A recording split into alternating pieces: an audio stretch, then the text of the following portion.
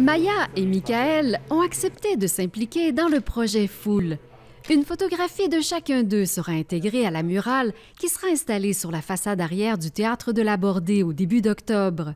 Mais ce n'est pas tout, car leur histoire de vie sera aussi mise en relief dans ce projet. Euh, on rencontre 20 participants, des gens euh, qui viennent de la cité Limoilou. Les gens arrivent ici avec leur vécu qui est, qui est différent, qui est très singulier à, à eux.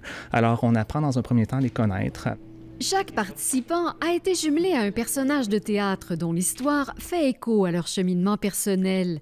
Ce lien entre fiction et réalité sera développé dans des portraits publiés sur le site web de la Bordée au cours de l'automne. J'ai sorti mon, mon, bagage littéraire pour jumeler les, les, textes avec les personnes. En fait, j'ai commencé par lire les pièces une première fois pour vraiment m'imprégner de la pièce puis voir c'est quoi les profils qui étaient intéressants à sortir. Puis ensuite, on a approché différents organismes et personnes euh, du quartier de la Cité Limoilou, en fait, pour nous aider à dénicher des gens euh, selon des profils très précis.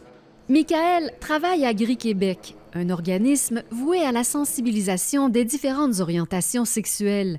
Il a été jumelé à un personnage de la pièce Rotterdam qui aborde le thème de la diversité des genres.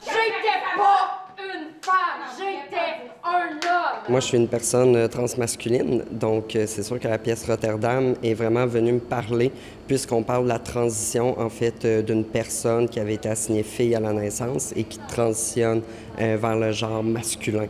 Maya est arrivée à Québec en 2017. Depuis, elle fait du bénévolat pour aider les nouveaux arrivants. Elle a été jumelée à un personnage de la pièce Une bête sur la Lune, qui traite du défi d'intégration dans un nouveau pays. Je veux faire partie de cette foule. Et puis le projet, ça sera vraiment un miroir des acteurs au quotidien qui vont parler de leur vécu, de leurs histoires, que on est tous différents, mais on fait partie du même tableau. Tout comme Michael, elle espère que le projet Foule contribuera à changer des perceptions et des mentalités.